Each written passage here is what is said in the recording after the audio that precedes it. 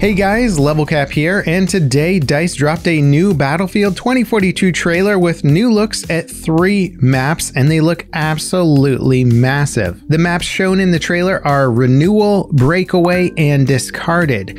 And my first takeaway before getting into the details of the new weapons and gear is that the scale of Battlefield 2042 is truly epic, especially the Frozen Breakaway map that DICE previously touted as being absolutely massive in scale. Well, they're right, it looks insane. The footage almost looks like it could be out of an Elder Scrolls game with some massive sprawling world. I was half expecting to see a dragon or an army of swordsmen running across the frozen glacier, but no, this is a Battlefield game and it's literally bigger than anything we've had before. I can only imagine the insane sniper shots that are going to come out of this or some of the cool jet and helicopter maneuvers using the massive glaciers as cover. Now, I'm about to get into the details and break down down all of this trailer info, but before we do, here's a quick word from today's sponsor. Do you use the internet for banking, sending private information, or logging into other secure websites? Of course you do. It's 2021. Everybody does. The real question is why are you doing it without good security? Your ISP, websites, the government, and hackers are all interested in grabbing your info, and you're running a big risk when using the internet without a VPN security measure. The good news is today's sponsor, NordVPN, can help you browse securely and protect your online accounts.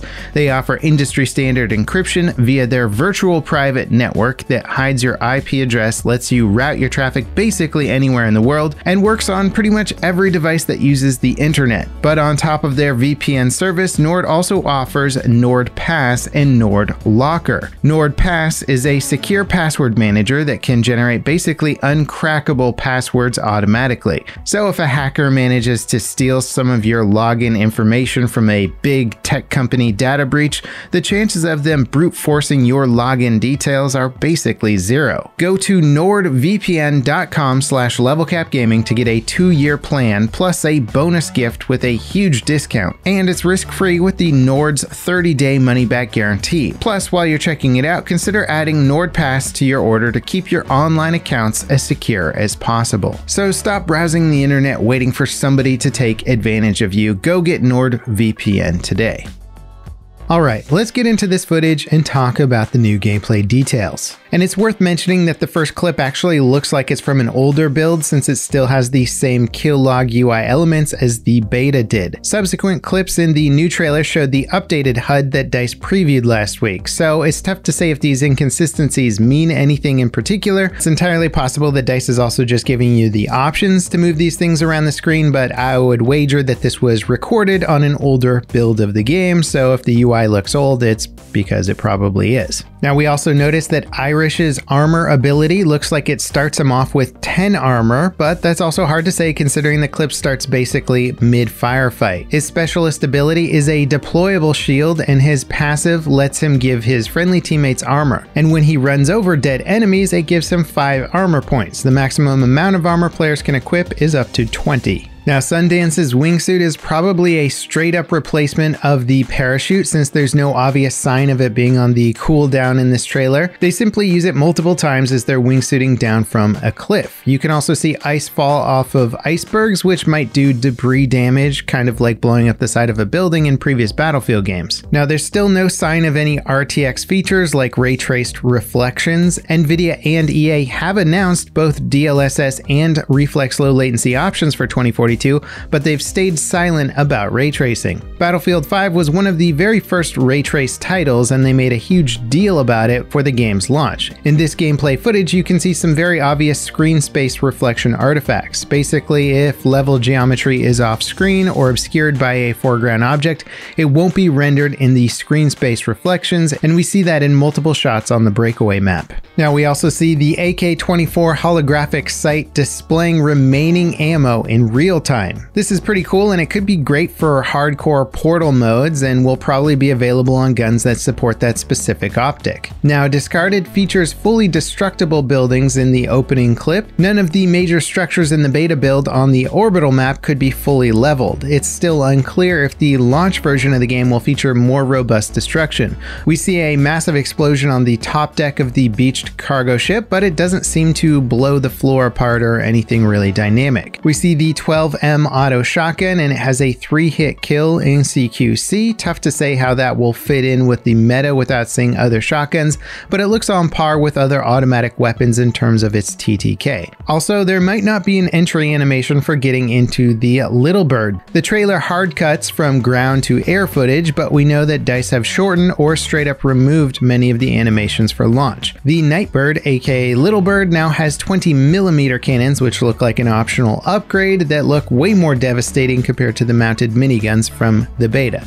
Granted, the miniguns might be more effective at certain types of combat compared to the 20mm cannons. It also doesn't look like the enemy visual appearances have been updated to help distinguish enemies from friendlies. Again, this was probably recorded on an older build of the game.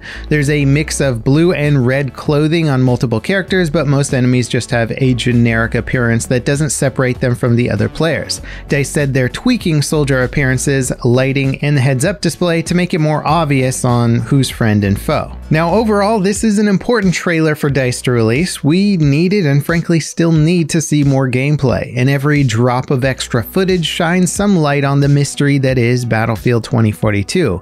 There's still so little that we actually know about this game when you look at the promised wealth of content DICE are planning to deliver. We're honestly just skimming the surface with these trailers. And out of the seven standard mode maps that are coming out at launch, we now have a decent sense of the experience on at least five of the maps, with the Hourglass map being heavily featured in the first gameplay trailer and and Orbital being the main showcase of the beta.